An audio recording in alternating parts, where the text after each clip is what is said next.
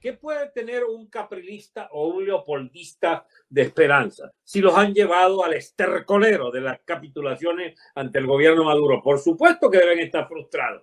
Todos los muderos deben estar frustrados. Tras 21 años de jalarle mecate a esos eh, forajidos de la, de la dictadura roja, no pueden exhibirnos otra cosa que no sea eh, cuerpos amagullados por toda clase de, de sevicias a las que fueron sometidas todos estos años en política. Pues bien, yo quiero serte sincero, yo celebro que los hayan apaleado, no porque esté de acuerdo con el madurismo, no porque esté, eh, digamos, satisfecho con que, este, ¿cómo se llama?, una propuesta como la de ellos haya sufrido tales desengaños. No, es para ver si aprenden alguna vez de que cuando uno constata que el chavismo se ha hecho fuerte por la capitulación de la oposición, entonces puede empezar a entender de política. No existe el chavismo sin esa oposición. No existe la hegemonía del chavismo durante 21 años sin los alcahuetes, a saber, el filósofo Zulio que vendió la primera gran eh, elección, el, tonto de Capriles que vendió la segunda, eh, que vendió la tercera, porque él, ganó contra Chávez, pero él ni siquiera contó los votos. Digo, se lo digo rapidito, aquí no hubo fraude. ¡Pam! Se impuso el Chávez que iba a morir en los próximos tres meses.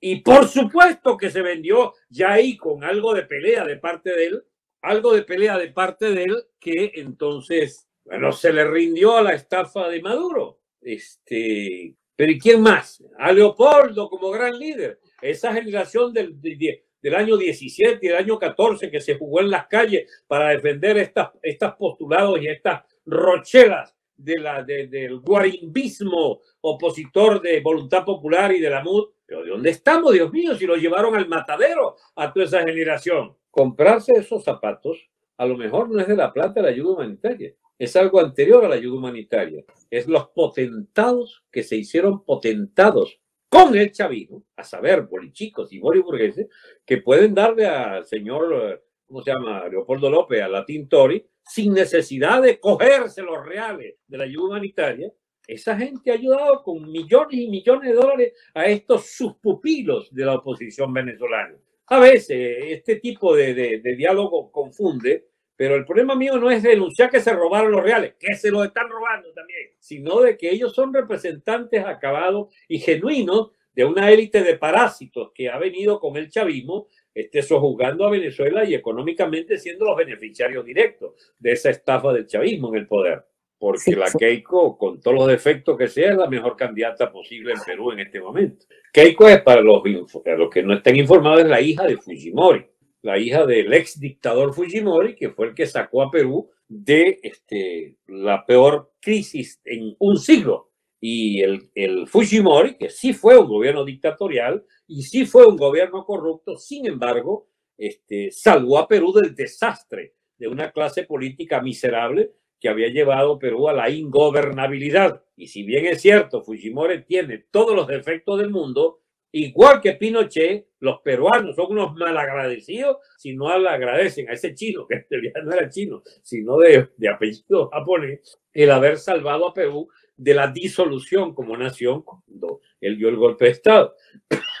Después rehicieron las instituciones y pudieron haber gobernado durante medio siglo si hubieran querido, pero no, volvieron a enredar Perú porque todos y cada uno de los presidentes se metieron a ladrones de oficio. Y entonces lo que es el post-fujimorismo es otra calamidad para Perú cuando ahora agoniza, no se quejen los peruanos de haber puesto a dirigir el país digamos, de herederos de lo que fue la conquista bajo Fujimori a una clase política de logreros y de ladrones que, bueno, qué sé yo. Se salva de eso el señor aquel, el gordo gigante aquel de Lápara, eh, García, que por lo menos tuvo el coraje de zamparse un balazo. Este, ahí está, efectivamente, mira la Rapunzel con Keiko, carajo, ¿quién la aguanta?